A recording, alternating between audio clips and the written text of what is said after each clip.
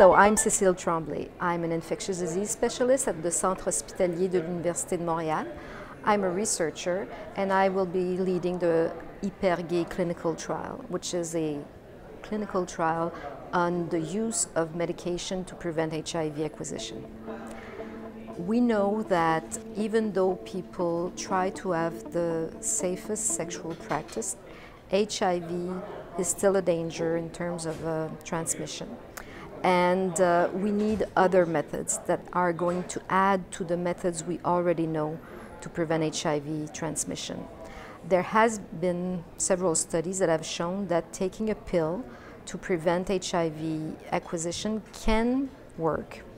However, the way these studies were done, they didn't show that it would work all the time or in any all situation. So we need to define better what is the best way to use this strategy um, so that HIV negative individuals will be protected as much as possible.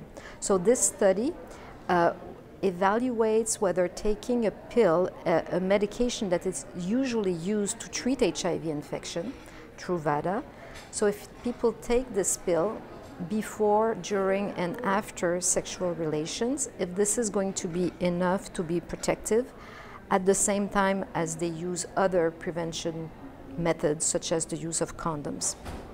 Um, we will compare this, taking this pill, to a placebo to see whether there is a real effect of, uh, on, on, prevention of transmission. Uh, the, the, the interesting part about this study is that people who are going to be enrolled in the study, both in the arm that will take the Truvada and the placebo arm, will also receive a lot of help in terms of counseling, in terms of condom, and um, whatever uh, help they need and to uh, help them with uh, uh having uh, lifestyle changes that will help them prevent HIV acquisition. HIV infection has been around for more than 25 years now. And although we've made a lot of progress in terms of the treatment, in terms of the identifying people who are infected to help them get, get therapy, we still have year after year the same number of people who get infected with HIV. So whatever we're doing is not good enough we need to do something different. But when we say that, doing something different, doesn't necessarily mean take just any intervention and say, oh, yes, this pill, we, are going to give the pill to everybody and then it's going to end our problem. We know that's not the case because, first of all, it would cost a fortune and maybe this money can be used in some better types of programs. Uh, and it could be that a lot of people don't need this type of prevention. So we need to identify who are the people who are likely to benefit the most from this type of intervention and what is the best way to administer it so that we can make it as efficient as possible. So that's why we need this study right now at this moment with the hope that it's going to add to our other methods. We don't believe that this is going to be the final answer.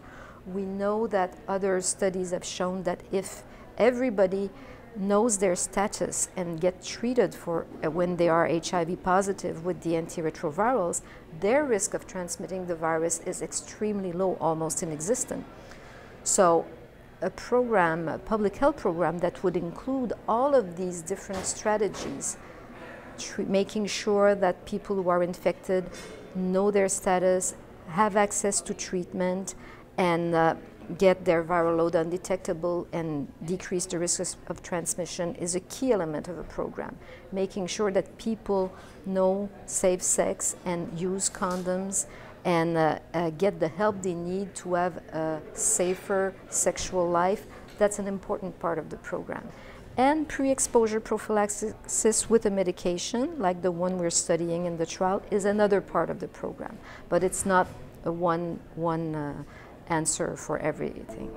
The reason we need a placebo for this trial is because a lot of different parameters could affect the risk of transmission. The way people use condoms or don't use condoms, the, the type of sexual relations people have that may put them at higher risk of acquiring HIV infection. So, to be able to dissect really the efficacy of a pill in the middle of all of these other interventions, the only way to do it is to have a placebo arm so that you can compare this specific intervention in the midst of other intervention.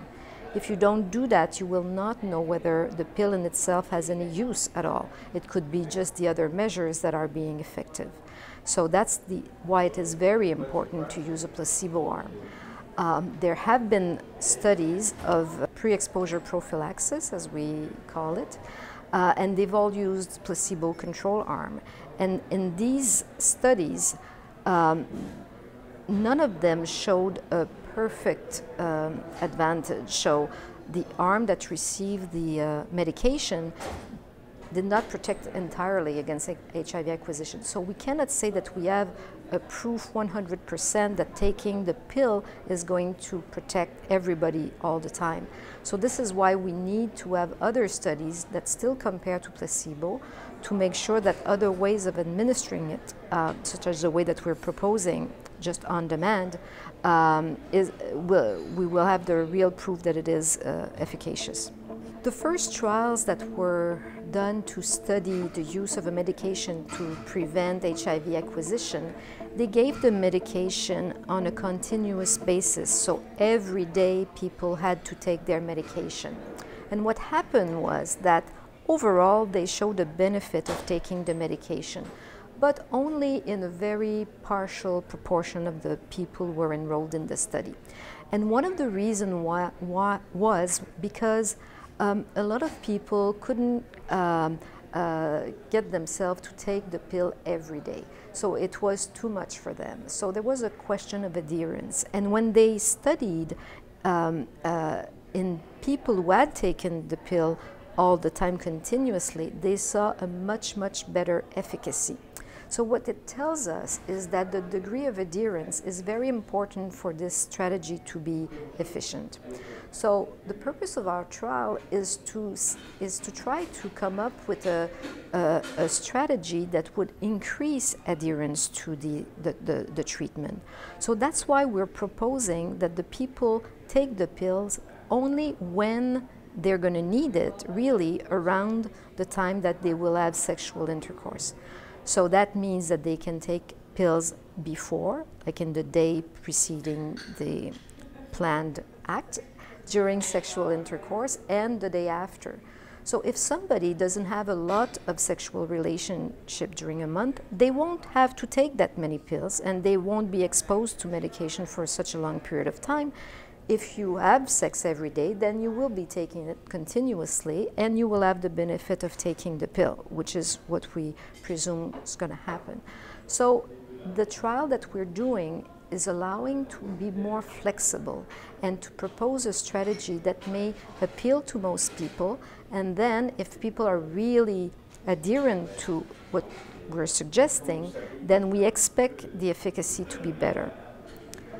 Uh, from what we know of the people who've already started the trial is that they are really happy to participate in that kind of trial. First of all, they feel that they're contributing to advancement of science and knowledge and eventually that may lead to some really helpful tools to prevent HIV transmission and that's quite gratifying to know that you're helping people will have the chance to meet uh, counselors, uh, to meet uh, people like them, and to exchange, and maybe to eventually um, progress in their understanding of what is a safe sex behavior, and eventually um, uh, get a, a, more of a, um, a perspective of what's happening in the community.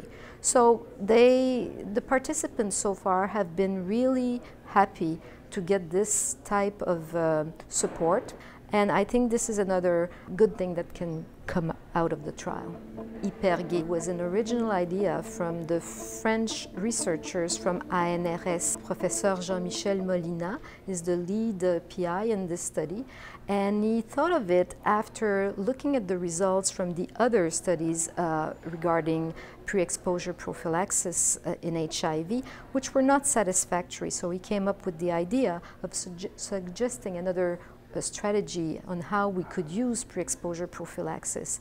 He then asked us in Quebec if we were interested in participating in the study, which we, of course, were enthusiastic in participating in that kind of a study because we felt there was a need for that and that it would definitely help to uh, inform the best use of, uh, of drugs in, in the context of prevention.